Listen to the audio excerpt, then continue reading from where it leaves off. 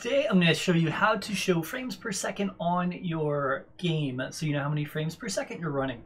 Pretty simple tutorial, it'll be real quick. Uh, if you're not familiar with frames per second, it's basically how many frames they show on your computer screen per second.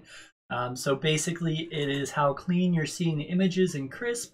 Um, frames per second can go very high, but after uh, 60 you do need different types of monitors to uh, see those frames per second which I can go over in a future video. Uh, but for now, let's go ahead and just show you everything here. And if you're new to this channel and you like tech fixes, tutorials, and gaming, please do me a favor, smack that subscribe button. I'd really appreciate it and turn on notifications.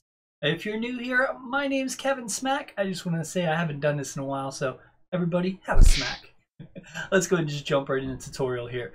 Um, so in the screen here, we just gotta go ahead and hit the three ellipses up here, the lines go ahead and choose the settings, the gear. And it's as simple as just going right here, show FPS, turning it on, and applying it. And then go back. So now you'll see it over here on the right side of my screen in green. It does also display in game, but it's a little hard to see, so I'm going to go through and show you that in a moment.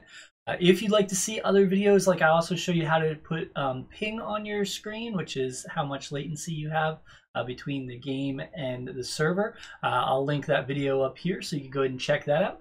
Uh, let me go ahead and get in game and show you exactly where this one is all right, great. Here we are in the lobby. We're away from everyone that makes a lot of noise so you can hear me. Not like one of the other videos I made. Uh, at the top right, next to the mini map, you'll see in white FPS and the number 60. That's how many frames I'm running at.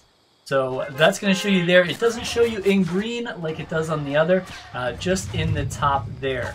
So if your frames per second are not very good, you can go ahead and check out this video up here I'll link so you can go ahead and improve your frames per second.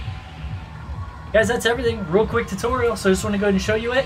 If this helped you, do me a favor, smack that like button. I really do appreciate it. And as always, smack out.